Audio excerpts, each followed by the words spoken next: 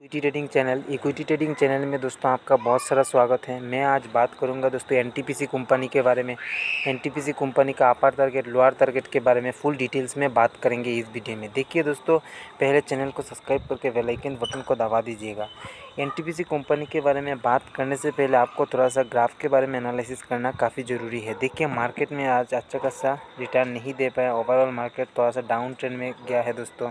तो यहाँ से कब तक मार्केट अप ट्रेंड दिखने को मिलेगा, इसके बारे में एनालिसिस करें। तो देखिए मार्केट ने यहाँ से थोड़ा सा अप ट्रेंड दिखने का चांस बहुत ज़्यादा है दोस्तों। यहाँ से जाके यहाँ से रेजिस्टेंट लेके मार्केट फिर से डाउन ट्रेंड दिखने को मिल सकता है। अगर ये रेजिस्टेंट पार हो जाए तो तो मार्केट ने बहुत ही अच्छा खासा रिटर्न देगा तेज़ी से ग्रो होने में देखने को मिलेगा।